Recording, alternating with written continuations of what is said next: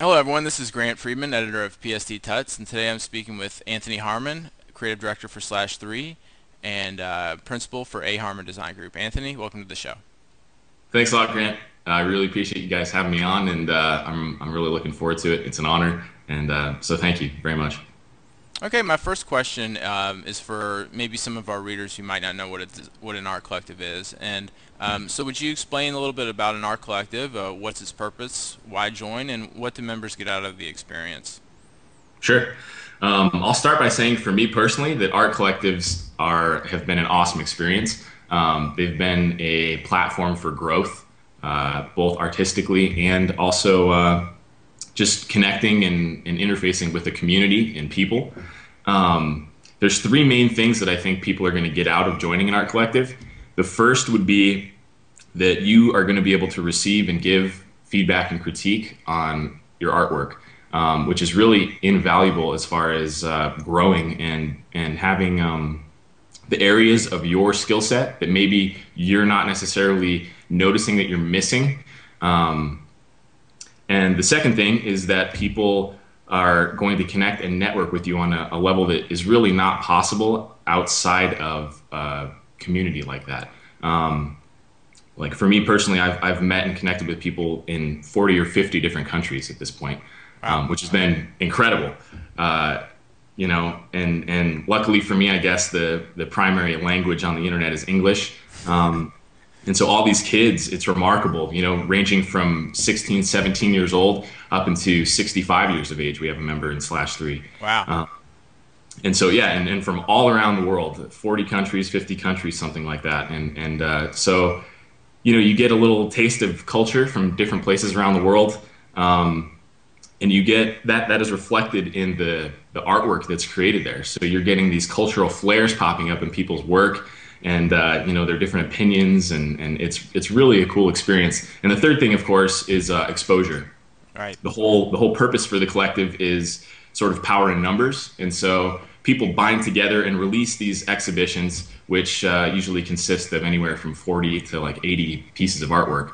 Um, and that's an attempt to, to make more of a cohesive singular uh, exhibition, if you will, um, something that can be released as a, a, single piece of work and that's going to be not necessarily more validated, but it's just, uh, you know, if you have a larger scale project, it's going to get the attention of more people. So wow. those are kind of the three main things that people are going to gain out of a collective and, uh, and what it really is. So now, um, you know, I know that there's um, several art collectives out there. I know there's, you know, Depth Core, um, Intrinsic Nature, I think. Um, so what, what makes Slash 3 unique from the other collectives? That's a good question, and uh, it's, it's one that I'm definitely excited to answer. I would say up until about six months ago, there wasn't a whole lot separating Slash 3 from the other collectives. Um, that's not to say that the other guys aren't doing fantastic things. Um, I think there's, for whatever reason, just been a real increase in um, the, the motivation, the drive, and the passion with the staff sort of the behind the scenes aspect to Slash 3. Um, and for whatever reason, we've just really honed in on trying to, to push the whole notion of what a collective is to the next level. I think um, the, the standard model up to this point, it's not archaic, but it's, it's certainly outdated. Um, you know, the, the current model is like we talked about, people bind together, they uh, create these exhibitions every two to three months, and, uh, and that's really it. Um, what we're aiming to do with Slash 3 right now is to integrate with things like social media, um, podcasts like we're doing now, and uh, the blogging platforms, really enhance and and uh, and utilize, I guess, the different mediums that are out there now, and try and and integrate them into Slash Three in order to bring it up to to current times and current technologies. Um, additionally, we're working to uh, provide paying client work for the artist core that we have. Um, that's something that I don't think any other collective has been able to achieve up until this point. Um, and it's something, it's the next logical step for us because uh, we've gotten to the point where we're being approached pretty consistently from clients, and they're really on our site right now isn't a, uh, a platform or a way for these these people to connect to our artists directly um, when they are in fact interested in hiring them for a project. Um, so all those things are, are kind of new and, and, are uncharted territory. So they're exciting, and, and uh, you know we're proud to be pushing it into the next realm, and, and it's going to be exciting to see what happens over the next six months or so. So. Wow, it sounds like you guys are, are doing some really exciting things. Um, you mentioned your your your your uh, your exhibitions, and your your last one was uh, called Paradigm Shift. And right. would you be able to tell our readers a little bit about Paradigm Shift? Um, how did it come about, and uh, you know what pieces kind of stuck out to you? Absolutely, yeah. I'm actually going to pull it up on my screen really quickly so I can reference the uh, the pieces. Um, Paradigm Shift is the name of our latest exhibition, typically uh, referring back to the standard model of art collectives. Uh, the procedure is to come up with a theme, and uh, all of the artists are given the brief, and they come up with their own interpretation of, uh, of, of what the theme name means to them. Um, and those packs are released every three to four months or so. Um, our latest one is Paradigm Shift, and uh, I'm going to log in here. So some of the pieces that really stood out to me in this last exhibition were uh, first and foremost, he's one of our newer artists, and uh, he's a Russian guy, doesn't speak a lot of English, and so he's not too active in the forums and, and with the community, but he is very active as far as uh, submitting artwork and, and, participating as far as, as that's concerned. Um, his name is Anton Semenov. Uh, the piece that I'm going to refer to first is called Society, and uh, Anton goes under the alias of Gloom uh, as well. So this piece, Society, I think really, really pushed the the limitations of what you can do in Photoshop. Um, this thing is made out of well over a hundred arms that are all coming together and, and, forming a face, a spooky looking face. And uh, conceptually, Anton always nails right on the head. Um, the the theme is paradigm shift, and his little tagline here on the bottom of this piece is "Bigger fish eat the little ones," and it's fantastic because all of these little arms are coming together and binding and and creating this bigger fish, so to speak. You know. Um, and of course, it's got its mouth open like it's ready to swallow the viewer whole, and and uh, it's a really cool piece. Technically speaking, it's unbelievable too. Um, and, and it's been pretty widely circulated around the internet, I think, for, for both its concept and, uh, and its technical execution. Um, so that's an awesome piece. I, I was blown away literally when I saw that one. Um, it's very creepy. It's very creepy. It's very dark, as is all yeah. of his work. Actually, uh, Anton is a very uh, artistically. I don't know him as a person, but artistically, he's a very, very dark guy. Yeah. Um, yeah. Uh, the second piece is uh, by, and I'm sure I'm going to pronounce this wrong, and I apologize, but uh, it's by Roger de Boisvive, or Roger, he's French, uh, and it's called Altered. Um, the reason I really like this one is because Roger's been developing a, uh, a really unique style, um, and the process, which he is uh, actually published online as well, is, is really unique. Um, at first glance, for me, when I saw this, I thought it was completely rendered uh, as a 3D object and then uh, you know textured in Photoshop or something like that. But he created all these 3D components uh, using vectors, which was a cool, unusual, I think, approach for creating something like this. Um, I just love the the style. It's it's very unique. I don't think anybody else is producing anything quite like this right now. And uh, you know, Roger likes to keep it fresh. He's one of those guys that uh, every six months or so he totally changes up his style and tries something new until he really perfects it and feels like he's finished with it and moves on to the next thing. So I really enjoyed this piece. Mm-hmm. Yeah, it's a very nice piece. And let's see what else. Oh, another one from Gloom we'll touch on just really quickly is called uh, Evil. And just conceptually, I really enjoyed this one. It's it's not necessarily his like most impressive technically, uh, but just from a conceptual standpoint, I thought it was fantastic. Uh, it's of a ring from an aerial perspective, and there's several figures in the piece that are outside, kind of scratching their heads, uh, wondering what's going on. And, and, as far as theme relation to paradigm shift, uh, I thought it was it was really clever because the viewer, the people that are looking at the piece, are privy to this little what's going on in the center of this ring, whereas everybody else on the outside is is lost and they have no idea what's going on. And so there's the paradigm shift right there. Mm-hmm. Um, let's see. We also talked about Zone Zero. Uh, this is done by Yvonne Fusi. Again, I'm going to pronounce these names wrong and I'm going to get yelled at for it later. Sorry, guys. And uh, Gitan Welzer. Um, this is a very interesting piece because uh, it demonstrates the collaborative process between two different disciplines, two artists bringing their different skill sets to the table and, and really combining them into to one piece. Um, Yvonne has been uh, notorious for his photo manipulation skills, while Spartan or uh, is uh, a map painter or a digital painter. And these two combined forces, and uh, the result is is pretty cool. It's of uh, a city, you know, melting into some lava there. I think there may be a little bit of the Stargate influence, uh, which I know you're a, a big fan of. Um, and just the whole sci-fi aspect to it is, is really cool. It's an uh, interesting combination between the bright glowing lava lights and then this like dark, dingy, rocky uh, plain scene behind it. So another very cool one. Yeah, I'm I'm I've got to say I'm a sucker for anything sci-fi related. Right, me me too, man.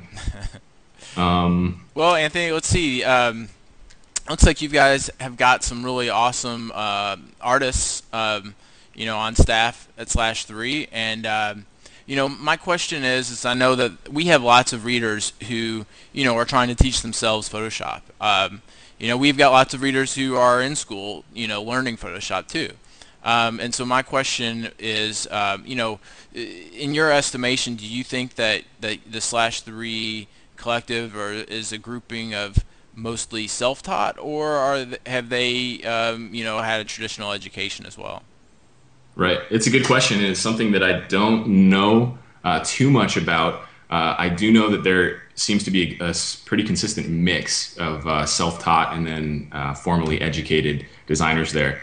Um, and the split, ironically enough, seems to be one-sided, where it's the older artists seem to be self-taught. Um, now that I think about it, maybe that has somewhat to do with their age and the technology at the time. And so maybe a lot of these guys um, as far as getting into the whole digital arena and the development of Photoshop and the progression there, it just wasn't around and accessible, and there weren't these sites like PSD Tuts out for them to to educate themselves with. And so, uh, you know, they had to do the old uh, tried and true, just walk the walk the line yourself and and uh, put in the miles. Um, and whereas the younger kids all seem to be uh, going to to school and uh, going for the formal education, and that's actually being encouraged by the older designers. Um, which brings me into uh, a point that Nick Campbell made, uh, Greyscalegorilla, in one of his discussions that I think you guys actually posted on your site not too long ago, um, which is that you know you have to decide for yourself whether the uh, the whole school route is appropriate or not. Mm-hmm. It's certainly possible uh, in this day and age, especially with resources like PSD Tuts, um, to really uh, make some serious progress on your own. Um, it, it, doesn't take uh, maybe necessarily the hardship or the like we talked about a minute ago, the putting the time and the miles in and, and sort of trial and error process that it used to. Um, there are some superb not only books and, and blogs, but uh, tutorial sites like PSD Tuts out there now where people can really get the leg up pretty quickly. And uh, you guys have everything from the basics into more advanced techniques and things. So there's a, a real opportunity that I don't think existed a few years back. Um, but at the same time, the point that Nick Campbell made was if used properly, school can be fantastic. It can be a great time for uh, for growth and for getting the the hard stuff out of the way, um, acclimating yourself to the various uh, applications and software, but maybe more importantly, um, getting into the things that can't really be taught in a video, like composition and color theory and, and stuff like that. And so if you're, if you're paying attention and working hard in college, it's a fantastic opportunity to not really have the the pressures of holding down a job and paying bills and, and all that, um, and and allowing yourself to progress to that next level and have a leg up when it comes time to actually enter the industry.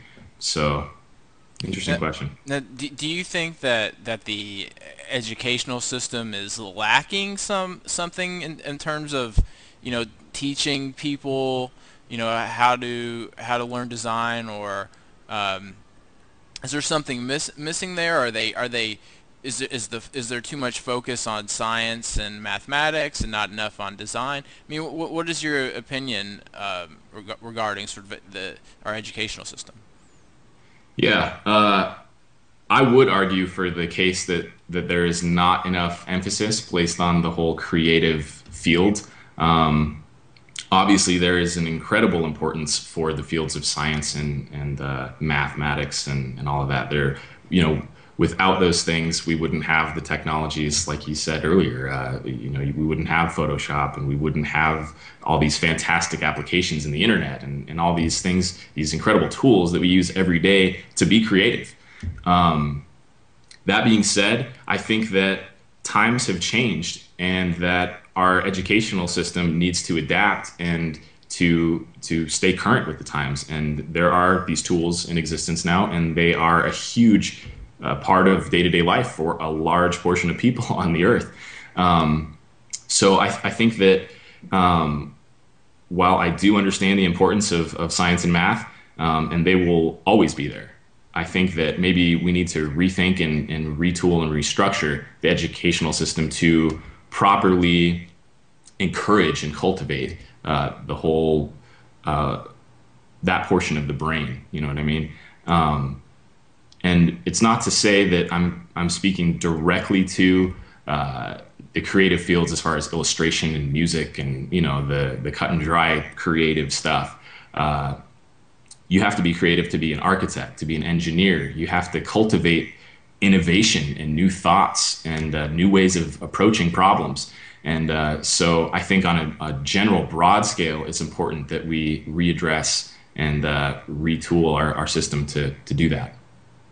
It's awesome. Um, you know, I want to sort of break up, break off just a little bit and sort of discuss something I know we had discussed uh, uh, prior, which was about the OFFF Festival and the mm. Slash Three book. And I was hoping you could tell readers a little bit about those things. Sure. Um, to be honest, I've never been to OFFF Festival, and unfortunately, I'm not going to be able to make it this year. Uh, but I have heard quite a bit about it from the artists in the collective and, and around the internet and uh, it sounds like it's a fantastic uh, meeting of creative talents.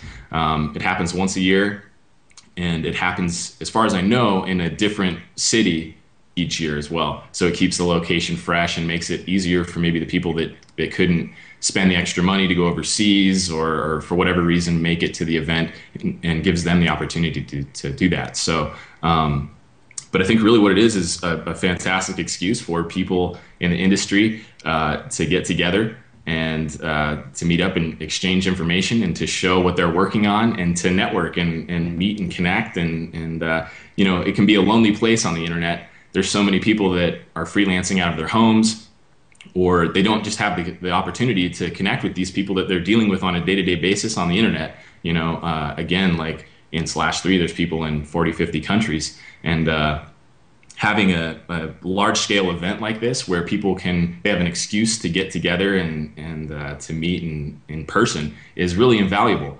Um, as far as slash three is concerned with OFFF we have been invited this year which was a really humbling experience um, to present. Um, and so actually our our latest project uh, is directly related to the whole OFFF presentation. We've produced a book that will be being sold and released for the first time at the OFFF Festival. Um, it's a combination of brand new works that are relating around the theme of uh, life, death, rebirth, that whole cyclical process, uh, as well as a heritage section, which is the other half of the book. Um, and one of the main reasons we did that was because just with timing, uh, a lot of the the people that are in the collective are in college or still in school of, of some kind, and it's kind of crunch time and finals for a lot of the guys. And so we wanted to give them the opportunity to have their artwork displayed in the book as well. Um, and so it's it's the second half, the heritage section is more or less a showcasing of some of our some of the pieces that, that stood out over the last few exhibitions. Um, yeah. It sounds awesome. I, I'm I'm really excited. I know our readers are, are probably very excited to, to see the book. Now, will they be able to purchase the book? They will, yeah. It's going to be for sale for the first time uh, at the OFFF Festival, and then after that, we're going to be selling it on our online shop, which is still in development, but should be up and ready by the time uh, of the OFFF Festival as well. Awesome. Um, yeah. Awesome. Now I know we've sort of spent most of our time today discussing um, slash three and how you work with that, but you know when you're not doing slash three, you're you've also got a, a design business of your own, and I know recently you decided to you know to to quit the nine to five job and start your own company and I was I was hoping maybe you could tell us a little bit about your experience doing that. Yeah, absolutely.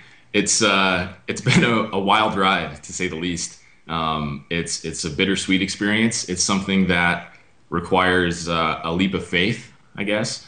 And uh, but at the same time, if you have the the dedication and the confidence and uh, just make sure that you follow through with everything necessary in order to ensure the success of that step. Uh, it's it's an unbelievable, rewarding experience.